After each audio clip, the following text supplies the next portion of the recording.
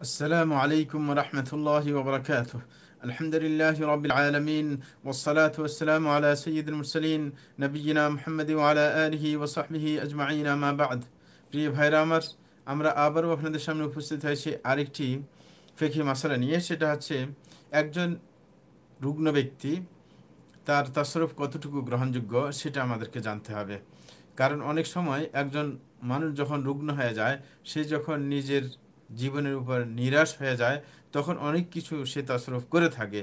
শরীয়ত কতটুকু গ্রহণযোগ্য তার একজন মানুষ যখন সুস্থ থাকে তখন তার যে কোনো তাসরফ গ্রহণযোগ্য। সে স্বাধীনভাবে তার সম্পদের ক্ষেত্রে তাসরফ করতে পারে।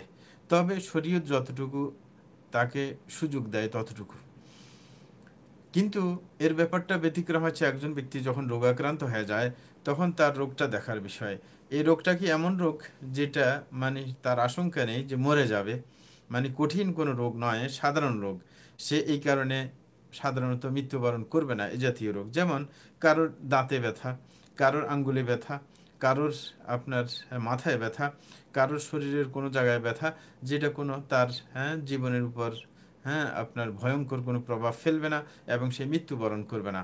এমন যদি সাধারণ কোনো রোগ হয় যেটা সুস্থতা হ্যাঁ বিশালভাবে আশা করা যায়।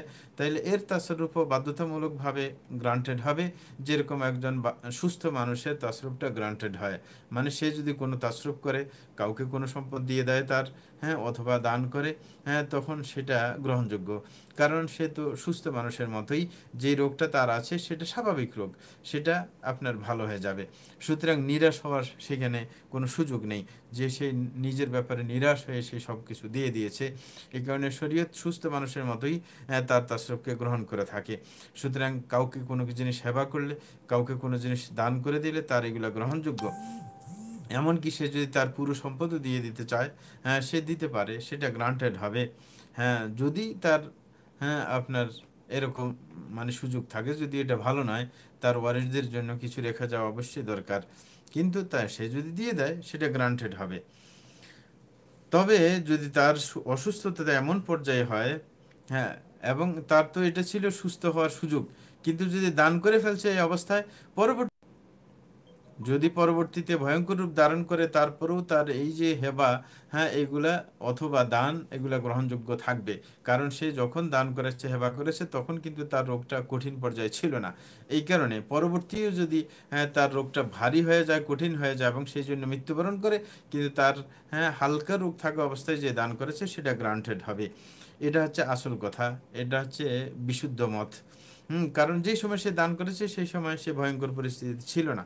কিন্তু যদি যখন দান করে সে যদি কঠিন পরিস্থিতি থাকে যে এমন অসুস্থতা তাকে পেয়ে বসেছে যেটা ভয়ঙ্কর যে যে কোনো সময় মৃত্যুবরণ করতে পারে যেমন মারাত্মক কোনো রোগ বর্তমানে আপনার করোনা ভাইরাসের ব্যাপার স্যাপার আছে হ্যাঁ, এরকম যেটার হ্যাঁ আপনার ভয়ঙ্কর আকার এরকম কোনো যদি রোগ হয়ে থাকে তখন তার আপনার যত দান ইত্যাদি হয়ে থাকে এমত অবস্থায়, সেটা কিন্তু সবগুলার, সব সম্পদের ক্ষেত্রে গ্রহণযোগ্য হবে না, বরং তার মূল সম্পদের এক তৃতীয়াংশের ক্ষেত্রে গ্রহণযোগ্য হবে শরীয়তের বিধান।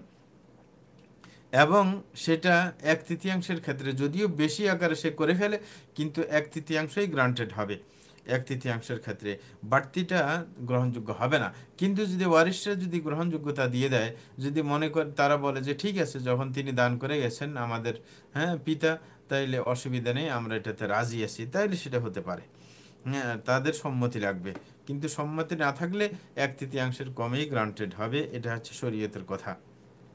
এবং সেটা আপনি তার মৃত্যুর পরেই গ্রান্টেড হবে। কারণ রসুল আকরম সাসম বলেছেন ইন্নাল্লাহ তাসাদ্দাক আলাইকুম ইনদা ওয়াফাতিকুম বিথুলুথি আমওয়ালিকুম জিয়াদাতান ফি আমালিকুম যে রসুল আকরম বলেন আল্লাহ শান তোমাদেরকে সুযোগ করে দিয়েছেন তোমাদের মৃত্যুর সময়ে যে তোমরা এক তৃতীয়াংশ তোমাদের হ্যাঁ আমলের সুবিধার জন্য হ্যাঁ তোমরা দান করতে পারো।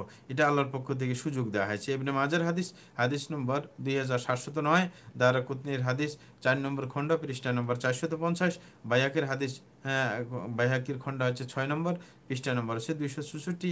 এর বাউল গালিলের মধ্যে আলবানী রহমতুল্লা আলী এটাকে হাসান বলে দাবি করেছেন।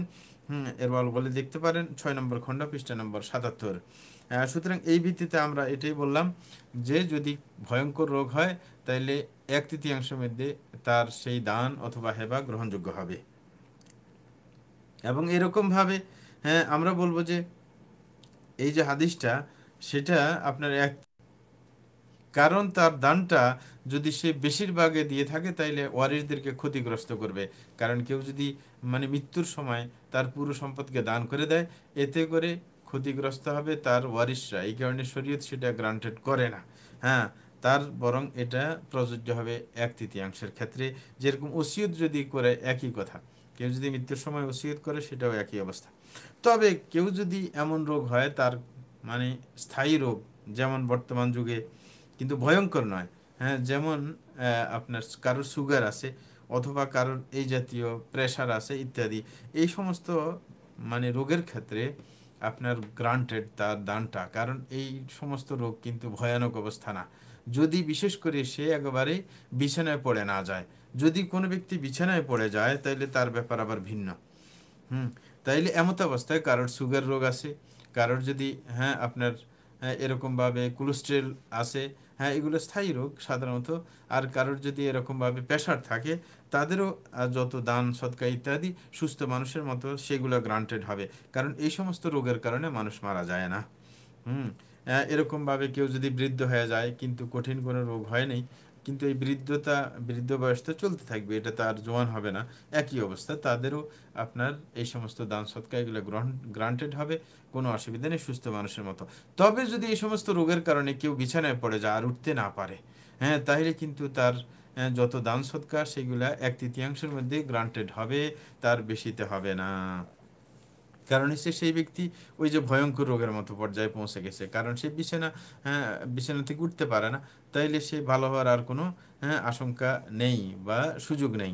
এই কারণে তার যত দান সৎকা ইত্যাদি হবে, তখন তার হ্যাঁ মানে যে, তার মৃত্যু একবারে নিকটে তার মতোই তার তাসরফগুলাকে শরীয়ত আপনার গ্রহণ করে থাকে যে, এক তৃতীয়াংশের কমে বা এক তৃতীয়াংশের মধ্যে সেটা গ্রান্টেড হবে, তার বাড়তি কোনোটার মধ্যে গ্রান্টেড হবে না। সে যদি পুরো সম্পদে দিয়ে যায়, অর্ধেকও দিয়ে দেয়, সেটা গ্রান্টেড হবে না।